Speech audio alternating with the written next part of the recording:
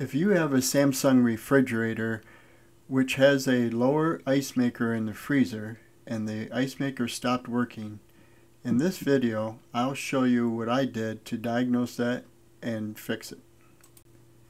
The parts and steps used in this video refer to the Samsung refrigerator model shown in this image. First you'll want to check for error codes. To do this, disconnect power for about 20 seconds and then reconnect it. Once the power is back on, check the water dispenser panel to see if there are any flashing error codes. If the display shows error 33E, then I'll take you through the steps I've taken in this video to fix that problem. Error 33E indicates that the filler tube heater has failed. To clear the error code, just simultaneously hold the energy saver button and the alarm buttons at the same time for about 8 seconds. As I said, if your ice makers are working, then this is the only step you'll have to complete. But if your ice makers are not working, then continue watching this video. Prior to proceeding, you'll want to purchase the replacement part. I'll leave a link in the description below to show you the part that I ordered. The first step is going to be to turn off the water and to disconnect the power.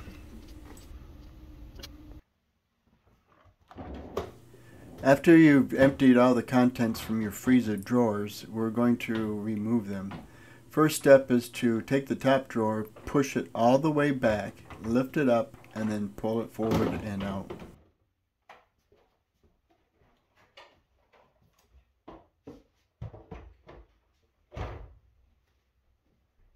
The bottom drawer is removed in kind of reverse of the top. You're going to tilt up the very back end and then lift up and then remove it. Next we'll remove the drawer front from the railing. For this we'll need a 10 millimeter socket. There are two bolts on each side that you will need to remove.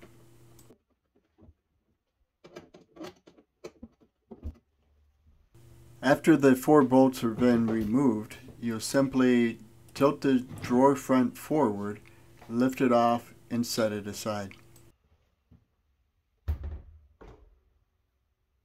Let me share with you a lesson I learned the hard way here.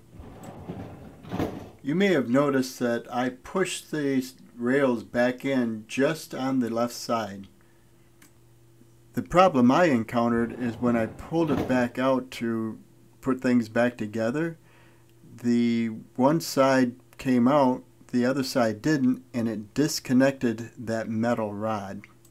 So to avoid this, I recommend always pushing or pulling on both rails at the same time. In the event you forget and do the same thing I did and, and cause the rod to become disconnected, you can fix it by pushing the tab that's circled here and removing the rails. Then you simply just put the rod back in position as you slide the rails back into place. To remove the ice maker, first we're going to remove the two screws at the front of the ice maker. Then you gently pull the ice maker forward and let it drop down. Next you'll press the tab on the connector and then pull the connector apart. Then you'll depress the tab on the fill tube heater connector and pull it apart as well. Now at the back of the refrigerator, locate the fill tube hose connector, pop off the protector collar.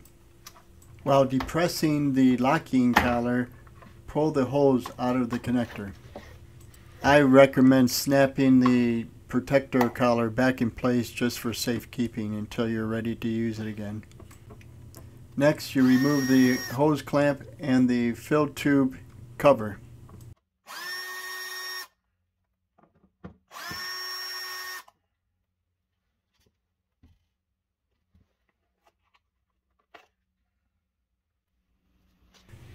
Now you can pull out the old fill tube with the heater. I probably should have shown you a picture of what the fill tube looked like inside. It was solid ice on the inside. That's why the ice maker wasn't working. Here you can see the new unit at the bottom compared to the old unit.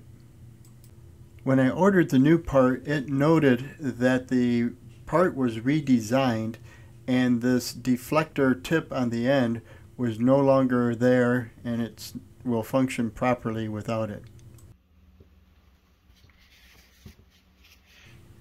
Now you can slide the new tube into position.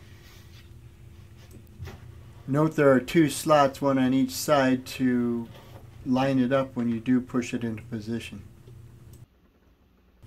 Try to make sure that you push it snugly back into place. When reinstalling the cover, do note that there is a slot on the bottom for the hose.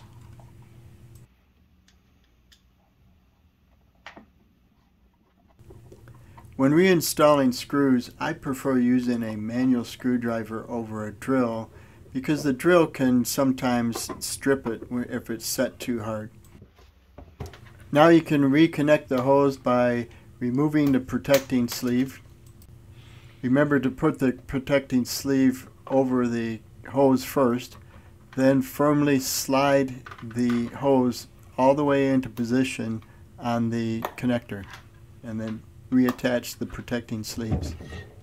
Now that the new fill tube is in position, we can reconnect the electrical connector by just snapping it into place.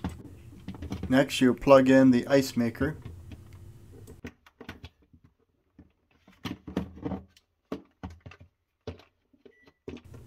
Then align the ice maker into the slots and push it back to snap it into place.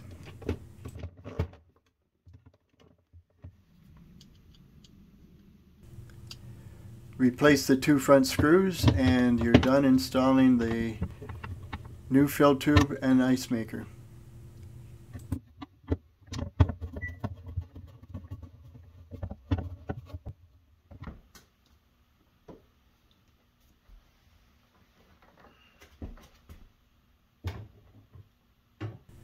While reattaching the door to the rails, note that there are two tabs, one on each side, that fit inside of a slot on the, each rail.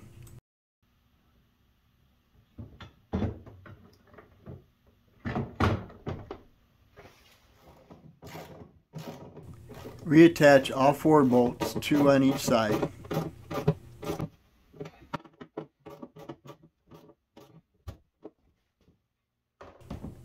First you'll replace the bottom tray, tilt the front edge down and slide it into position.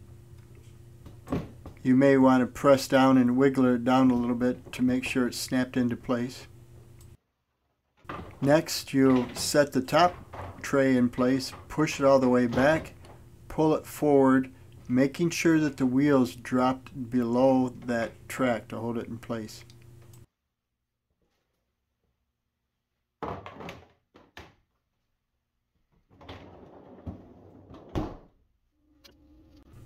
Now that everything is reassembled, you can turn the water back on. And now for the moment of truth. I'm going to plug the fridge back in and we should see that there is no longer an error 33E. If the display shows that the refrigerator is turned off, just simply hold the energy saver keys and the freezer keys at the same time for 5 seconds and it will turn the fridge back on. I'm happy to report that once the refrigerator cooled down, the ice maker did indeed start working again. This video has been a DIY Saver production. Hey, if you like this video, please give it a thumbs up. If you want to see more content like this, please hit the subscribe button.